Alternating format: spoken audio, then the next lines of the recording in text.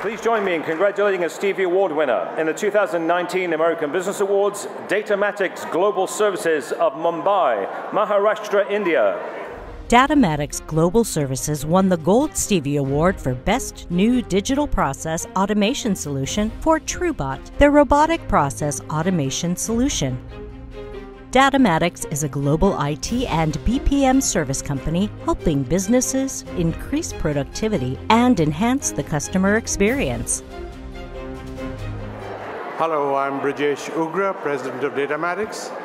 On behalf of our 10,000 employees around the world, I'm honored to accept this, uh, this, uh, this award. Uh, this truly establishes Datamatics in the growing space of RPA as a serious player uh, thank you to all our customers who repose their faith and trust in us, and of course, ABA and Stevie Awards. Thank you again, and have a wonderful night. Bye-bye.